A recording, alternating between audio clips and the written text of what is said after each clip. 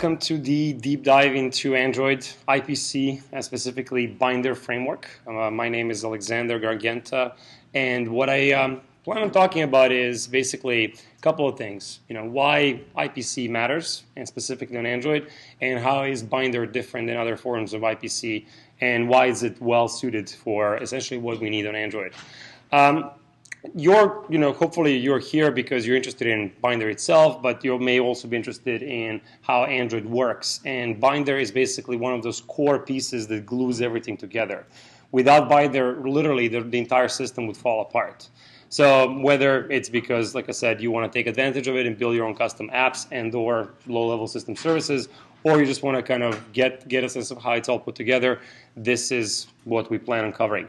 My only concern is, and this is a little disclaimer right up front, is we only have about 50 minutes. This talk, when I originally put it together, I was aiming for two hours. So I'll have to condense quite a few things and skip over certain points and or even certain slides.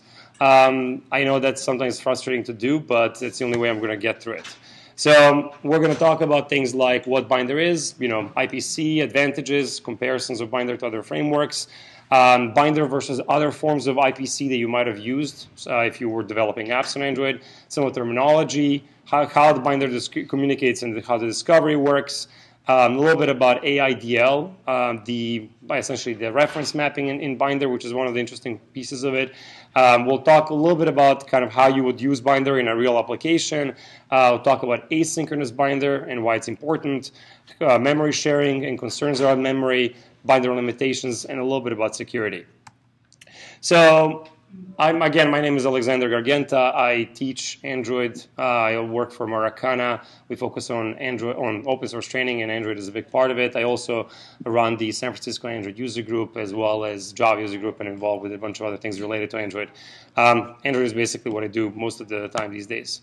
So, what is Binder? Binder is basically an IPC uh, framework. I like to call it framework because it's not just the binder. As you will see later on when we discuss the terminology, binders a lot of things.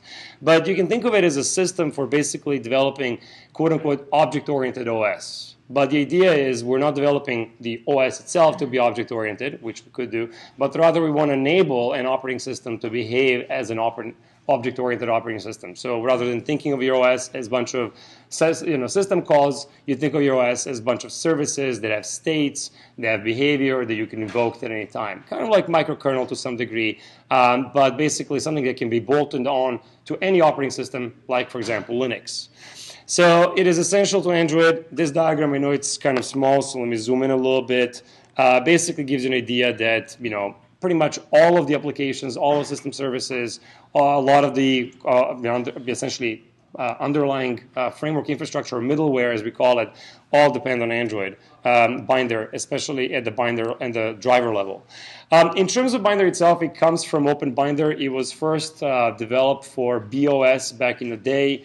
Um, it was never really never really lived to see the day as part of BeOS uh, because BOB was acquired by Palm. It was then ported to the Palm kernel uh, first the Cobalt, then later on the Linux kernel, and eventually um, was basically built into a full-fledged Palm OS and served its purpose. But that didn't really last too long because, as we know, you know, Palm didn't really go as, as, as they hoped they did. So when when um, HP acquired, I guess later on WebOS, uh, Google acquired uh, Dianne Hackborn, and she was one of the key members of the B uh, on the, the, original B team uh, of Binder. And so, along with her came kind of the knowledge of how to do IPC um, in a in a essentially embedded environment. So what is IPC and why do we care about IPC? So basically IPC is can be can mean a lot of things, but ultimately it's used for message passing, synchronization, sharing memory, um, isolating uh, certain key components of the system. Um, and of course, there's also something called RPC, uh, so remoting, but in Android, as you will see, when we talk about IPC, we do not assume any sort of remoting procedure calls. Um, it enables us to separate things. It provides privilege separation, data isolation, information sharing, and modularity. That's kind of one of the key components of it. Um, so when it comes to IPC, as you guys know, you know, being this is a Linux event, uh, there's many forms of IPC. You know, so we could be talking about files, we could talking, we could be talking about signals, sockets, whether we're talking about Unix or TCP sockets, pipes, semaphores, shared memory, um, you know, message passing frameworks like, for example, queues, message bus. Um, and then other forms of IPC like intents, content providers, messenger, right? And then there's the binder. So why binder? Why specifically, why do we need binder? Why is it so important? So again, this diagram on the right-hand side kind of gives, shows you the typical stack on Android. You guys have seen this probably many times. At the bottom, we have the kernel. At the top, we have the applications. And then in the middle, we have this middleware. Well, applications tend to be written in Java, and in order to take advantage of the application framework services, um, which run in separate processes, they actually consume them using IPC. Um, so this communication from applications down to application framework services is almost 99% done using binder framework. Um, down from the application framework down into the la lower layers, we sometimes see the use of binders, sometimes we use Unix sockets, um, and sometimes we directly load the drivers through, you know, essentially JNI and a bunch of other uh, things like HALs. But that's beyond, beyond this talk. So in, in Android, Binder specifically provides us with security. So one of the features of it is that it enables us to run things in separate processes. And as a result of that, we get better security isolation, um, i.e. sandboxing. Stability, so if things crash because they're running separate processes and because we have a good IPC framework in place, you know, they, they can be restarted without affecting other things in the system. Um, memory management, so one of the key features of Android memory management is this ability to be able to kill off applications that are no longer needed, um, either by Activity Manager service doing the job or in case it can't uh, cope with memory demands, having the low memory killer kick in. But for that to work, you need to be able to cleanly shut down an entire process. You cannot have applications share the uh, underlying process essential infrastructure. So you need IPC to enable that process to, to be able to exist and be able to still coexist you know, with other processes in the system. Um, and then, like I said, even um, even basically Android's uh, own components and apps all run in separate processes. So specifically, what does what does Binder essentially do for us? Um, it replaces all forms of IPC, or I should say System 5, traditional System 5 based IPC uh, on Android. So there's no support on Android for so for Sys5, semaphores, shared segments, message queues, and whatnot. One of the main reasons for that is because Android's you know essentially ability to kill other processes without them having any sort of cleanup uh, action scheduled uh, means that if you were to do, use traditional IPC, it may not work very well because you may essentially end up with resource leakage, um, and you may have malicious code essentially you know contribute to denial of service attacks. Um, Binder has a built-in IP um, reference counting mechanism, which enables it to count objects, if you will, that are shared across process boundaries. And when they're no longer needed, because say the, the process that was sharing them dies, those objects can be automatically essentially, well, the users of those objects can be notified, and those references can be automatically reclaimed without having any sort of lingering resources be left in the system. Um, this is very key to essentially why Android Binder survives essentially this hostile environment with low memory killer where other IPC frameworks don't. Um, one of the other features of, of Binder compared to other forms of IPC is the so-called thread migration um, programming model. So the idea is with Binder is you as the client of the binder framework, you basically make an invocation, a method invocation on, on an object that to you appears to be local. Um, but in reality, that object lives somewhere else. And what will happen is that your thread will, by default, block, and on the other side, will continue running, if you will, that method invo invocation code. Of course, it's no longer your thread, it's somebody else's thread. But what's interesting is that to you, it appears like your thread just jumped on into another process and started executing within the you know those that process boundary. Um, so that's really key because it enables a very easy programming model to exist on Android. Um, we also have features like, for example, identifying senders of, uh, of requests. This is actually very key to Android security. Being able to know who's talking to whom at any time enables us to enforce permissions dynamically, and this is how most Android services do it. We also have unique object mapping across boundaries, um, process boundaries. So basically, if I share a service object, a binder object with another process, and that process shares that same object with yet another process, that reference to that object is unique across all processes on the system. And the kernel driver ensures of that. And this is actually key to how the discovery of bound services works on Android, as we will talk about in a moment. Um, we also have ability to send file descriptors across process boundaries. So, for example, if you want to play a media file in a media server, you're not sending the, the entire file over. You're sending just merely the file descriptor to that file to the other process. Underneath the hood, the file descriptors get duped and basically copied over to the other side. Um, Android also comes with something called AIDL, uh, which is basically interface definition language that allows services to describe their capabilities to clients. And moreover, Android comes with a tool called AIDL that can extract proxies and stubs, which do automatic marshalling and unmarshalling of data, as we will talk about in a moment. All of that you get for free, of course, only if you do it in Java. But nevertheless, the idea is you get you as a cons- consumer of the Binder framework have actually very little to do to take advantage of it.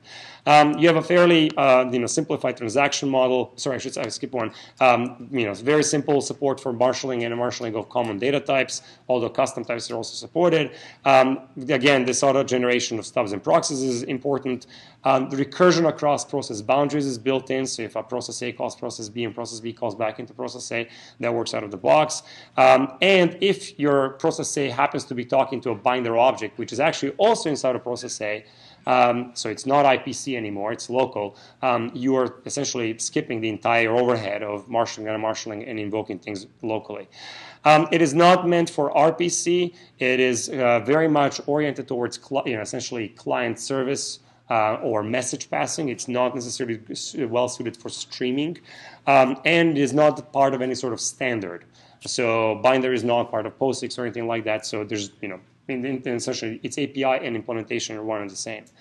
Um, as we will see, pretty much everything you do in Android depends on binder. Drawing, drawing on the screen depends on, binder. On binder. Uh, handling touch events depends on binder. Um, you know, playing stuff, you know, handling callbacks to your application depends on binder. You know, you sending intents, receiving intents, and whatnot, that all depends on binder. So it's extremely important. Now, that said, a lot of Android low-level system services also take advantage of uh, the, the Unix domain sockets as a form of communication. So binder is not the only game in town, but it's the most common one. So a lot of times when I talk about Binder, people ask, well, why, why do I need to know about Binder? Why don't I just use intents and content providers? And certainly you can. I'm not going to go into too much depth, but the idea is that in Android, if you have two applications that want to talk to each other, they can literally just have, for example, their activities open up each other via intents. Um, the activity that has been invoked can respond back with some result to the caller via another intent. Uh, you can also start services with intents. You can send intents as broadcast messages. You can receive them and whatnot. That also is IPC. This down below, which I'm going to kind of skip, um, is an example of how you could do that. Many of you who have ever written Android applications have probably done something like this. But basically, you can have an application, create an intent, start another application with that intent. That intent contains, think of it as the parameters of that request. The other application can get that intent, handle the, get the data out of that intent, do some work on the behalf of the caller, create another intent, and basically send the result and then the calling application gets the result and processes that. Um, it works and it's well suited. It's very um, there's, there's actually low coupling because these intents are not um, are well defined. The data uh, parameters are well defined. But the problem is that this is all not really very OOP. It's asynchronous. It's not very well suited for situations where you want you know low latency. Um, and at the end of the day, all of this still underneath the hood uses Binder. So yes, intents are a form of communication between applications, and there's nothing wrong with that, especially if you're just creating simple, trivial things. But if you want much more, essentially, you know, up to the millisecond notifications between or communication between multiple apps, and you don't want to depend on the asynchronous nature of, of intents, well, then you may want to go that to that bottom level and take a look at Binder. Um, another thing that comes up a lot is Messenger um, IPC. Now, Messenger, I don't know how many of you know, is basically a mechanism that allows a remote process to use a messenger to call back to a local handler, uh, thereby passing you messages. Um, so basically, the idea is, let's say you had an application. It's probably best understood if I just de- de- you know explain the code briefly. Um, let's say you have an application that wants to have some other service that do downloads of a bunch of images or something. What it could do is it create an intent to put a bunch of URIs that it wants downloaded and then a messenger into that intent and send it over to the service. That service, on the other hand, we can get that intent, get the URIs from the, from the intent, and start acting on those URIs, for example, say initiate the downloads.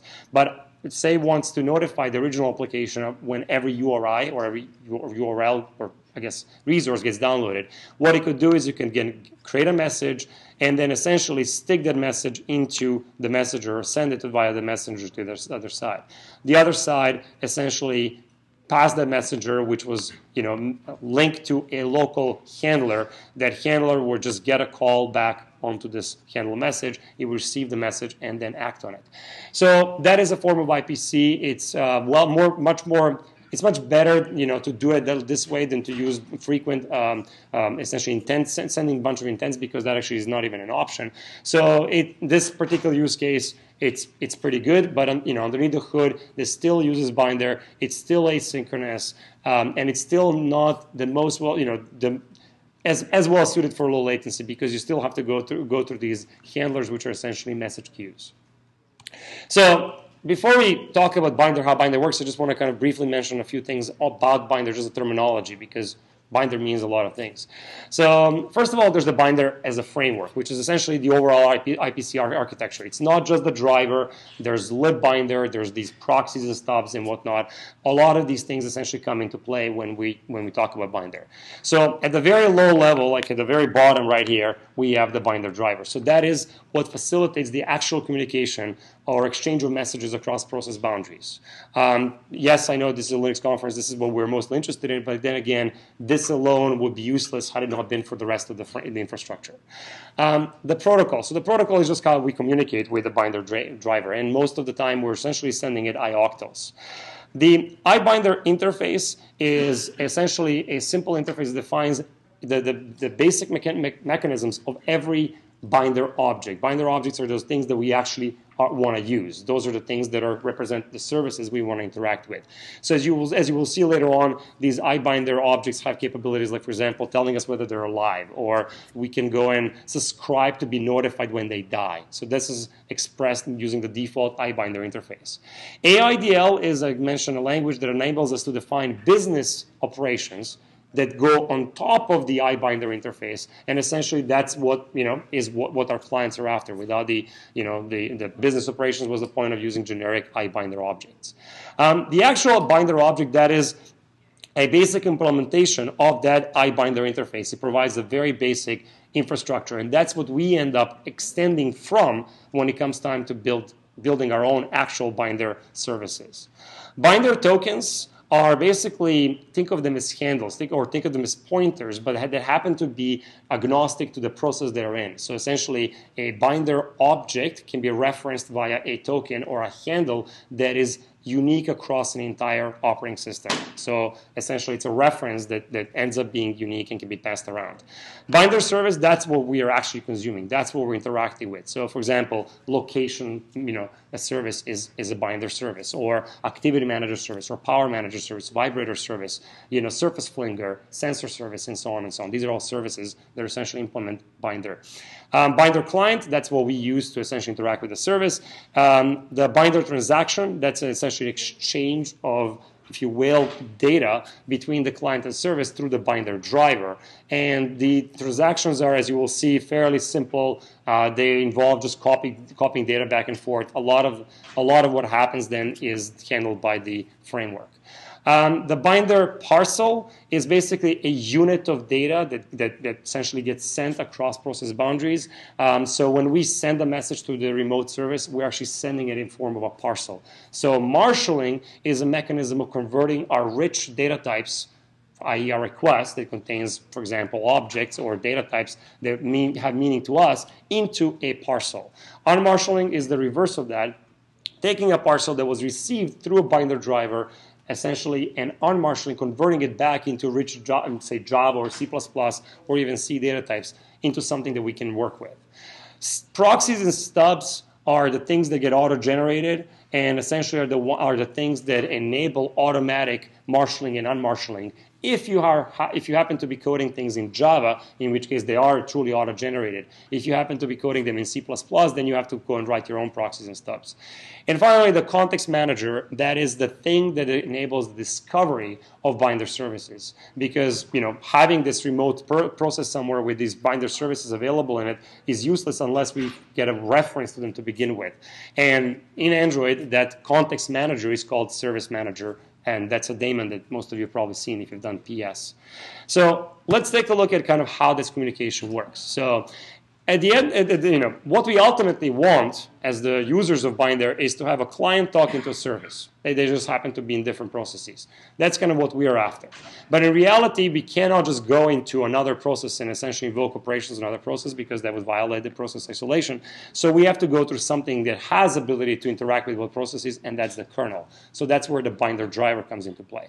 So how it typically works is that a service that wants to basically be um, consumed by clients will come to the driver and register by essentially spawning off threads that will block on the binder driver in these blocking ioctl calls, waiting for callbacks to do work. So that happens preemptively.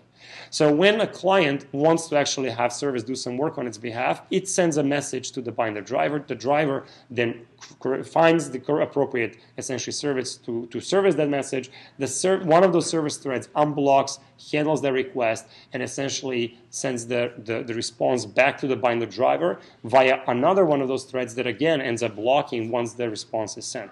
The client at this point gets the message. What's interesting is that to client, this feels like an asy- uh, sorry, a very synchronous communication channel. Uh, the service, as you will see, even though it has these threads, doesn't have to worry about them. All of that low-level thread management or thread pooling is automatically handled by the, the, the, the I should say, framework. I'm not going to say the driver.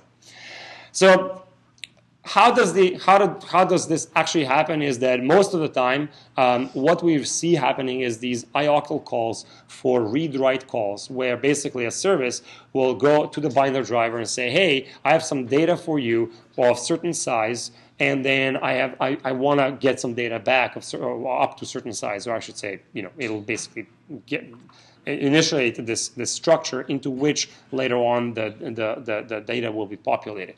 So basically what happens is the service comes to the binder driver for the first time, the write buffer is empty, just going to sit there, the, the, the, and then the service then blocks. When the client comes later on and sends a request to the service, the binder driver takes the request, copies it into basically the buffer that the service is going to then read from and then tells how much data is in the buffer and then at that point unblocks the service. Now, now the service has some data.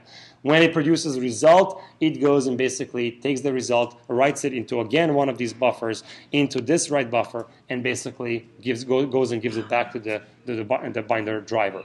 And so essentially this happens on both the service side and the client side. We're just exchanging these buffers back and forth. What's in the buffers is something we'll talk about in a moment, but basically it's the it are the parcels plus the handles to who we want to talk to. Now, um, there's in these buffers, I guess I should also say there's, there's these bookkeeping commands that basically tells us, like, for example, is this service still alive? Is this, you know, if you wanted to ping something and whatnot. We'll talk again about this in a little bit. I have to speed up because we're going to run out of time. Um, However, one thing I wanted to mention is that most of the time, all of this communication that I just mentioned, these ioctls, it's very low level. We actually don't want to know anything about it. As the consumers of this framework, we just want to basically send messages back and forth and, and act on messages. So that's where the proxies and stubs come into play. So the proxy's job is to basically take this very high level, say Java or C++ request, you know, receive it, and then convert it into one of those parcels, and then submit an ioctl transaction to the binder driver and block. On the other hand, the stub's job is to basically listen, if you will, um, to the binder driver callback, and then upon receiving the callback, demarshal or unmarshal that parcel into something that the service can understand, and then call the appropriate callback method in the service. The service is coded so that it only knows about these high-level method calls for example, you know, to do something that involves rich Java objects. So it doesn't know anything about the infrastructure, except for the fact that the service has to extend from this binder object and implement this binder interface. The rest of the implementation of the service is in no way, you know, tied to binder framework. It doesn't care about it. The only other thing, the semantical thing that affects it is threading because every time a service gets called, it, the, the invocation of the service method can happen in any one of these threads that was basically preemptively, you know, over here uh, tied to the binder driver. So except for the multi-threaded behavior and the fact that you have to extend from a particular class, the rest of the, the, the, infrastructure is completely seamless. Now, one more thing I want to mention before we, actually two more things before we move off of this slide. One is um, to clients, uh, you guys, you guys, you know, let's say you guys as application developers, not as system integrators. Um, even this is way too much knowledge for you. You guys as application developers, don't even want to know anything about binder, about proxies, about stubs. You just want to basically consume some service. So what Android does, for example, for system services, let's say locations manager service, activity manager service, power manager service, and you name it, there's like 60 of them plus.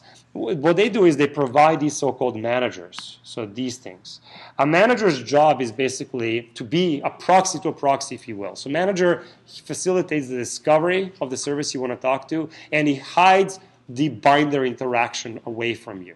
So, for example, when you're talking to a location manager, you are actually talking to a local Java object, which underneath the hood, if you were to open it up and, and, take a look at it, will convert your method calls into remote binder method calls via proxy. And the reason why the manager is there is to handle certain things like you know exceptions. Like for example let's say you get a remoting exception if the, the, remote thing dies as well as to handle lookup mechanisms as well as to handle some threading issues. For example if you're getting asynchronous callbacks the manager's job is to take those asynchronous callbacks and convert them into something you can handle on the UI thread. Otherwise you, you have these thread you know thread issues potentially so for those of you who've done Android develop, application development, you've been using Binder all along, you just haven't necessarily noticed them because you've most likely just been using these managers. The last part is the discovery. How do you actually find the thing you want to talk to, you know, to begin with? Well, um, when it comes to Android's built-in services, basically what we need is this thing called Context Manager. So if any of you have done, you know, PS on an Android, you know, ADB shell, you would have seen something called Service Manager. That is the context manager, another name for it. So what the context manager does very early, it's actually one of those daemons that gets launched very early by init. Um, it goes to the binder driver and says, hey, binder driver, I want to be your context manager. And the binder driver only allows one context manager at a time to be registered with it. Then what it does, it submits, essentially creates a you know, bunch of threads and waits on the binder driver. It itself is a service. A context manager, aka service manager, is a service, a binder service. So what is its job? Its job is basically to sit there and allow other services to register themselves with the context manager. So for example, when you have a location service, location service will re be registered with the context manager as the location, quote, quote unquote, location service. So when a client needs to find location service, all he needs to do is ask the context manager. So how does that work? Well, basically, the service at some point will register with the binder driver. The service will then use a service manager or context manager proxy, because now the service is the client to the context manager. Then the service, this proxy is going to go to binder driver, figure out where the context manager is, get a handle to the context manager, and then submit a request to context manager and say, hey, I want to register myself with you. On the other side, when the client wants to look up a service to talk to, the client submits a request again via another one of these service manager proxies, submits a request and via the request, basically gets a reference to the service manager. Once it has a service manager, it asks where's the location service, for example, and it gets a reference back to it. And now the client can go and use it the way we talked about before. So if you were to do ADB shell service list, you will see the list of a bunch of these services. So this is essentially, for example, the name of a service. So all these services are registered by simple string-based names. And then this is the you know AIDL that it implements, basically, or the name of the AIDL that implements, say, for example, for location. But there's you know 70 plus services you will find here. Um, this diagram kind of shows you another another way of picturing all of this communication. Um, let me see if I can quickly take you through it. It's somewhat redundant, but I don't know if it's probably somewhat easier to, to grasp. So let's say, for example, you had a service that you wanted to expose to clients. How, would that work?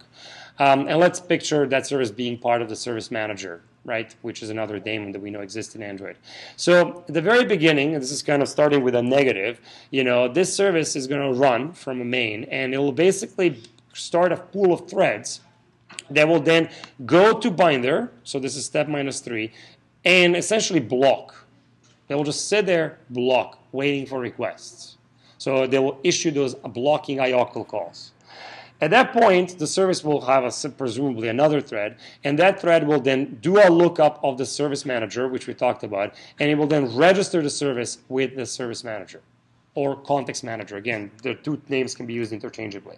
So now the client runs. The client wants to use the service, right? How the client goes to service manager, I, I didn't put in this diagram just because it's, again, it would involve a lot more errors. But basically, the client ultimately over here wants to invoke an operation on the service. That's what he wants to do. Invoke some service for some method foo and for, you know, pass some data, let's call it some bar. I don't know what that is.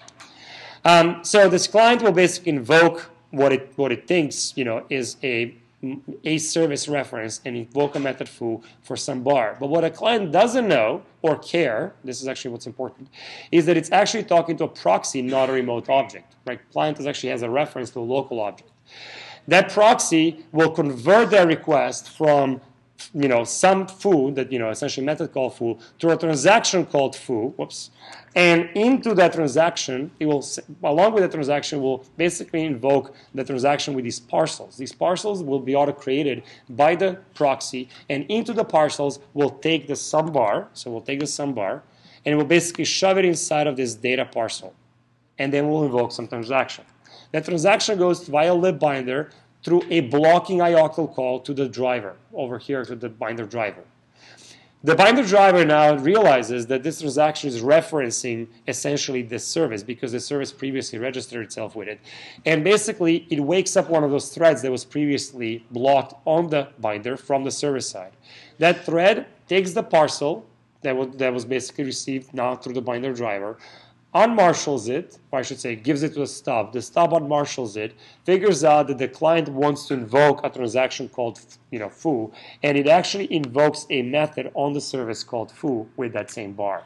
So the, this bar, you know, I call it some bar, basically got recreated on an, in another process. It went through a marshalling stage then into essentially copy gets copied across the process boundaries via, via the binder driver, and then on the other side gets recreated into its original state.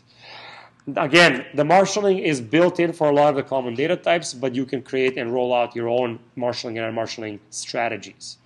Finally, the service now invokes the operation the client requested, which was the, say, the foo operation, and produces some result. The client, re- or sorry, I should say, the service returns that result. The result now goes back to the stub, and via the stub gets remarshaled into now the reply parcel. So it gets converted from a some result, which can be, say, some Java data type, into essentially a, a series of bytes. And then via libbinder submits, gets submitted back to the binder driver. Right? This is again another, another one of those blocking calls. On the other side, we unblock because the client had been waiting all this time. The proxy receives the, summary, the, the reply parcel. The proxy, the proxy unmarshals the reply object from the reply parcel, and it gives back that reply object or some result back to the client. So the same some result that got created here and returned is the very same object, but now reconstructed in another process. Okay? That's roughly how things work. Now, this is kind of a diagram I showed a couple of years ago, actually, on when I talked about services in Android. This is just, a, it gives you an idea of what, let's say, a location stack on Android looks like. I'm not going to go over the entire detail, but I just want to point out, let's say you have wanted to consume a location service, right? What you would do is you would ask the system for a system service called location. What you would get is actually a location manager. So what a location manager would implicitly do is do a call to the service manager, which is down here, to basically figure out where is the location service. Where's the location service? Location service was cre- created earlier on inside of the system server and got registered with the service manager via this term called location. So here, when the client actually says, I want to say get last known coordinates, what it's doing is it's talking to this, but in reality, this is first looking up the service, and it is then going through a proxy via the binder driver into this stub, and via the stub basically into a service, and then from the service it goes and talks to these location providers, which themselves are services, and they talk to HALs and drivers and whatnot. That's besides the point. But basically, the binder is key to this jumping from an application space to essentially this middleware space, which itself is just another process. Again, I wish I had more time to go over more details, but you know I have to speed up. So, what is AIDL? So, AIDL basically is the language for describing the services to their clients. It looks and feels like Java. It's not Java. It's similar though. Um, this is an example of an AIDL basically um, you know service call it some foo service. Generally, we would call this, save this file into a .aidl file with a name that matches the name of the service. You will notice that this feels like namespace because it is. It's same like Java. Notice we have this use of imports. And now our, we define our interface. In this interface, we just define the business methods that the service is supposed to implement and not supposed to, has to implement, and that the client has to, you know, can consume. These methods are just prototypes. Um, they look and feel like Java, so you, you define the return type, then you define the name, method name, and you define one or more, or zero or more parameters.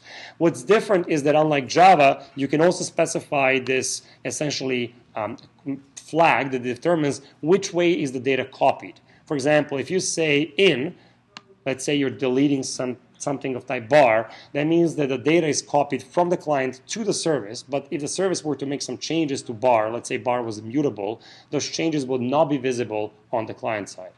Um, versus over here, let's say you had this object bar that you wanted to have the service save, and maybe the service updates the ID of bar when it gets saved, whatever bar may be. That basically, you know, now, you know, excuse me, means the data gets copied both ways. So um, what happens when you create a file like this? Um, Eclipse, if you're doing this in Eclipse, or if you're using the Android build system, will automatically employ this tool called AIDL, which is part of the SDK, which will generate in the gen folder this essentially iFoo service, which is the same as the name of the service that of the file we created, which implements essentially this interface or extends this I interface, and inside of it defines the stub and then the proxy. The stub basically has this on transact method. That is how the service is going to receive transactions. And the proxy, on the other hand, has the actual methods the clients are going to use. And notice that what the, those methods do is they create these parcels, convert somehow you know, our data types for example, this bar into a parcel. So somehow they ask the bar to write itself into a parcel, and then the, the stub, or sorry, the proxy submits these transactions. You know, there, yes, there's more that we, you know, we can go much deeper than this, but that's basically underneath the hood what's happening. Um, and then here's the definition of all the methods now written in Java. Um, if you were to do this in C++, you, you end up having to basically write a lot of this code yourself. So I'm not going to go into details of how that will be done right now. So AIDL out of the box, or Binder out of the box framework, supports all of these data types, especially in the Java land. So you know all the primitives, including primitive arrays, character sequences, and strings, of course, file descriptors, which I said get copied as a file descriptor, um, serializable objects, which can get converted to bytes, but Java serialization is not the most optimal, optimal thing in the world and should be avoided.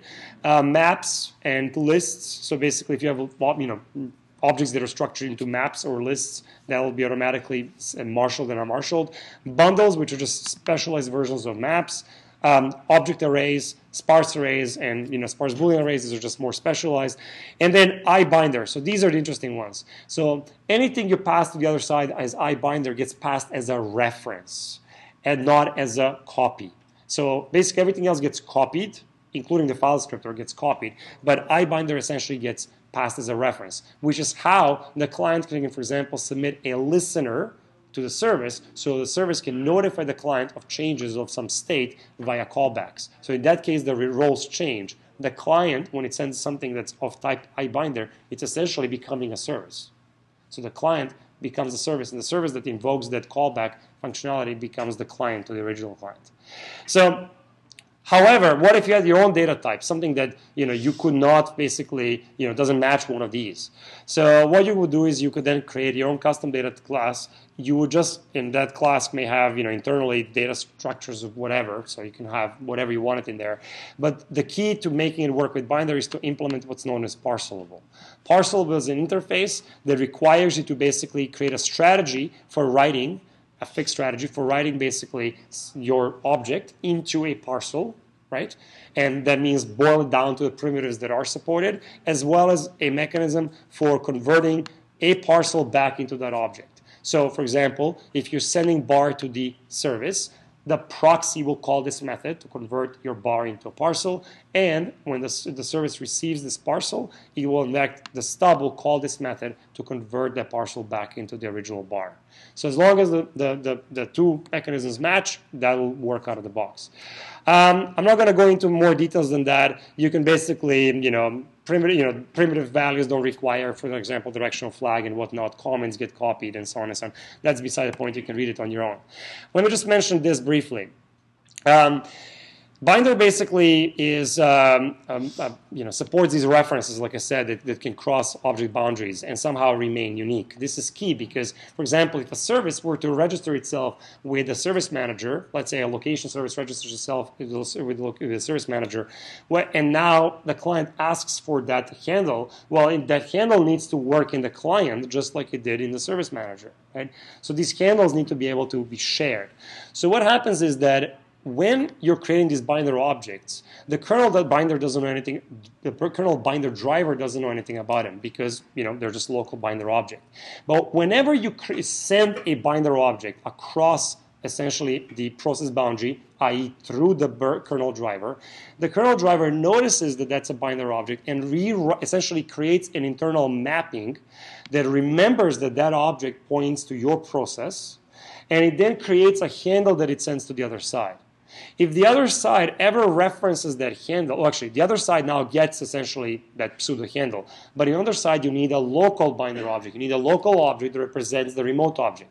So there's a local reference to what is essentially, you know, your object.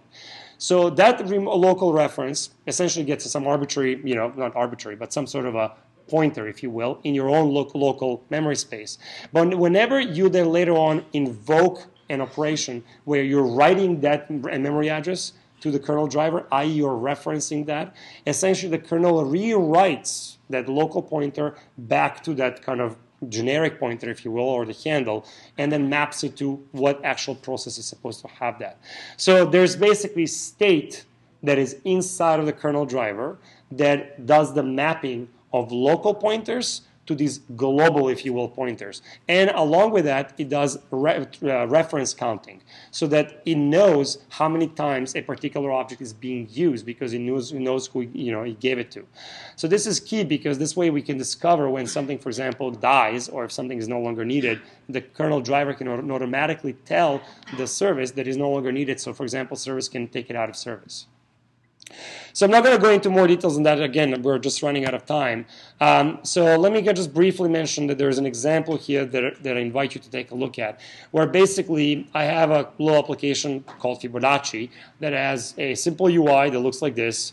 You punch in some number, you select which Fibonacci algorithm you want to use, whether it's going to be implemented in Java or C, and whether it's going to be implemented recursively or, or iteratively, and you click on this button, and that button basically is supposed to return the result of that Fibonacci calculation. What's interesting is that the actual implementation of this Fibonacci algorithms it happens inside of this service, whereas the UI lives inside of the client, right? So um, let me just briefly mention kind of how things work. So this is again coming to the application space. So if you're writing applications, you'll really quickly realize that the services and clients that use Binder directly are going to have to depend on a common interface. So when you're you know forced to deal with shared code, one of the ways to deal to, to do that in Android, you know, essentially, so you're not duplicating code, is to create a library project. If you don't know what that means, you'll look it up. But basically, what I do here is I Unfortunately, I don't have the time to go into that. It's essentially, it's a project that itself is deployable, but it can be referenced by other projects, and any artifacts of a library project get incorporated into your project at the build time. Okay. So, for example, let's say I had a, wanted to define a common interface and common data types, right? So, so these are the types that are referenced by the client and service. Um, what I would do is I would create a common project. I would make it a library project, and inside of the project, I would then define my AIDL interface, and I would call, create a file called I service.aidl. Inside of it, inside of it, I would define the business operations, and then basically, uh, you know, that will be the first step.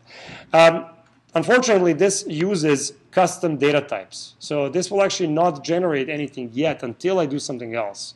So I need to define those custom data types. So those custom data types in this case, I have an object called, or class called Fibonacci request, whose job is to basically encode the n, which is what you want to do Fibonacci on, as well as the type of the algorithm you want to use it, do it on, and in this case, that's just a simple enum.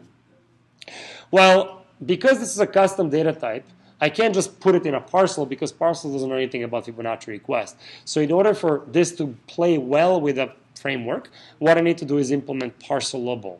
So how do I do that? I just add the implements parcelable, which forces me to basically write this method, which given some parcel, I can convert my object into that parcel, which essentially means I'm just boiling it down to its primitives. Notice that enums, all I need to do is get its ordinal value, and basically I write it as a simple int. On the flip side, I basically need to recreate this object from a parcel in order to basically deploy it again. So I'm not going to go into, uh, there's basically the, the Fibonacci response, which is kind of similar. I'm not going to go over it. It's not important. It's basically just has, you know, two longs. Not, not, nothing, but same, same idea. So, I mean, in the interest of time, I'm just going to uh, essentially move forward. Um, so basically, when this is Got it. Um, when you now created this, this AIDL file, you now want to create a service. So how does that work?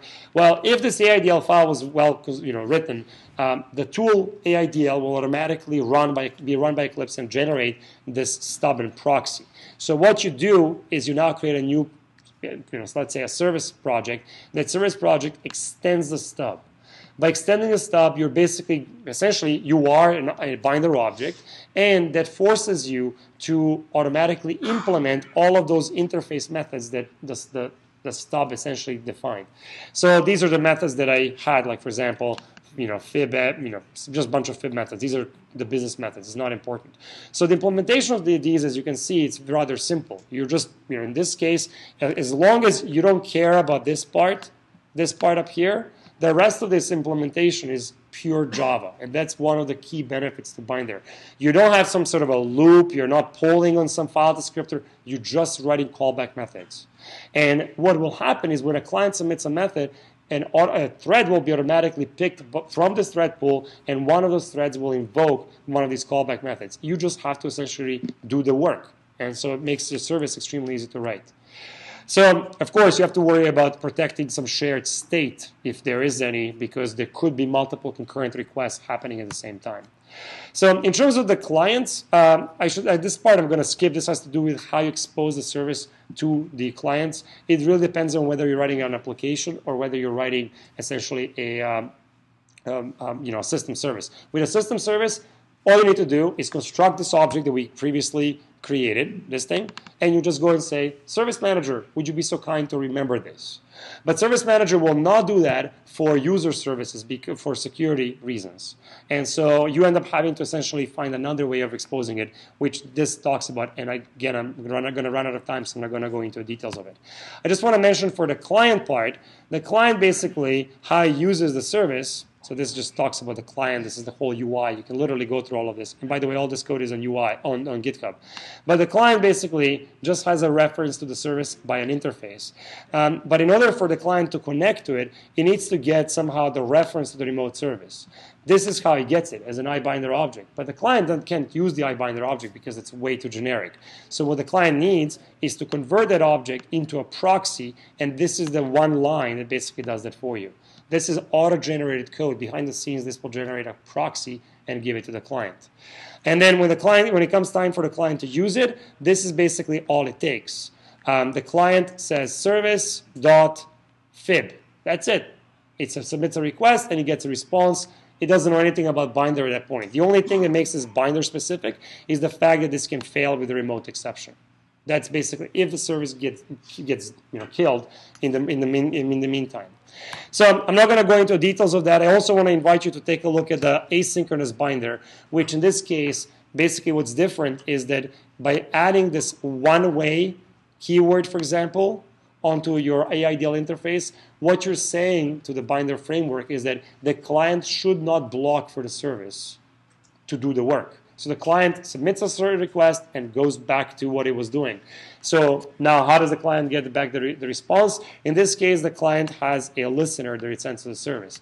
What happens is this listener gets passed as a reference and the client gets gets basically the, the data back that way. So there's some threading issues that you have to worry about on the client side when you're using listeners because the callbacks happen on binder threads. And if you were to try to mo- mo- update the UI from a binder thread, you would basically get one of those exceptions. So there's, you know, then you have to use handlers and whatnot.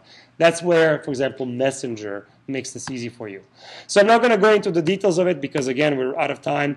I want to mention for sharing memory, Binder has a limit as to how much data you can pass back and forth, and that limit is one meg. If you want to share memory, one way to do it is to use ashmem. So what you do is you basically create an ashmem region of certain size, you put your data into that region, and then you send the file descriptor to that region to the other side if they want to get access to it. Again, I'm not going to go into details. You can read it on your own.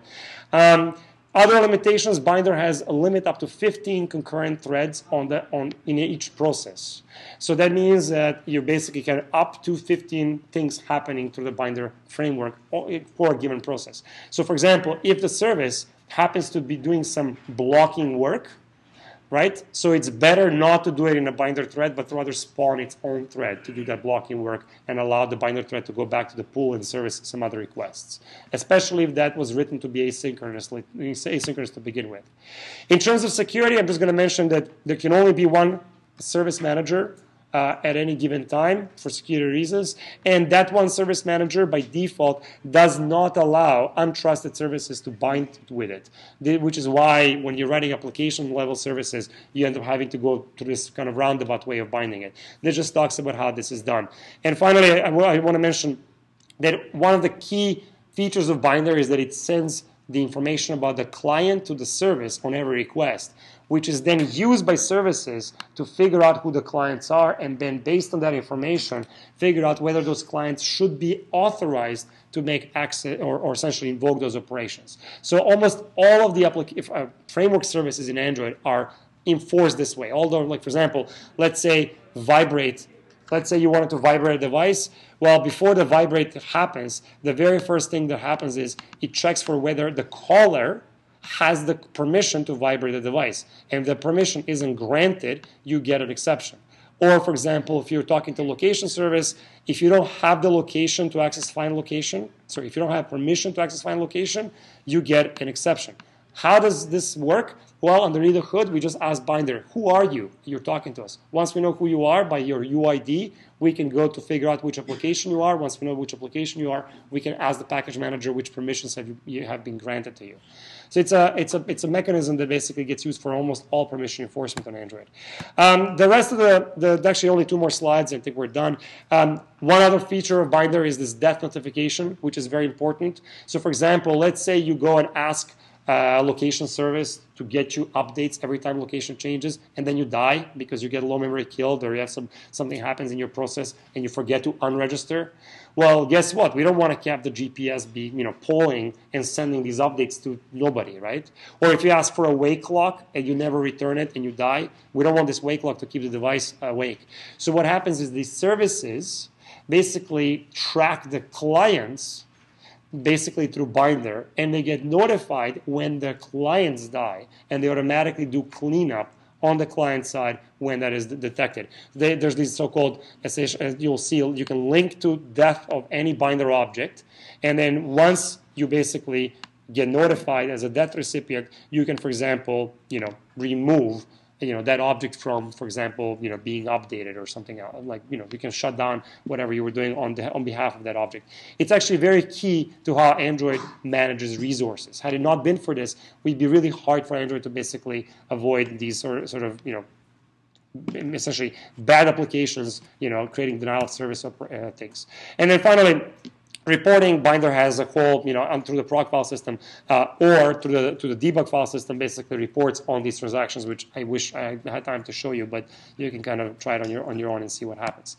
Um, there's a whole bunch of other resources I invite you to check out. Um, you know, a lot of uh, you know good slides and and, and essentially uh, discussion of Android of Binder and Open Binder that's that's worth looking at. And so again, in summary, we took a look at what Binder is, how it compares to others, briefly how it works. Um, you know, I briefly talked about how you could implement it. I invite you to take a look at the code. Uh, we talked about features like AIDL, the security, um, death notification, and so on and so on. Um, uh, this record, this talk will be recorded, or actually is being recorded. I'll save it and later on upload it to the same URL.